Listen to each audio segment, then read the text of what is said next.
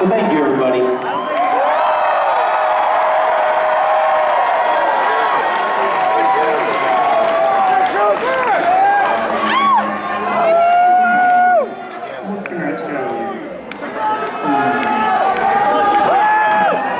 Anyway, I just wanted to say thanks. Like, really, uh, you know, you know, I, I tend to get to this moment in the set, whether it's a Neverender or sets in the past, and this is a moment where I'm supposed to share something with you, and it's really tough for me because my brain has been getting smacked around in there, and like the pressure from the singing is just.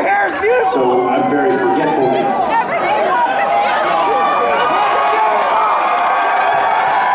But, but really, we are very thankful. It's, it- you know, here we are. This record is going to be, I believe, 12 years old, and it's our, mean, it's our third record. So to still be sort of doing all of you, and and here we are all tributing it.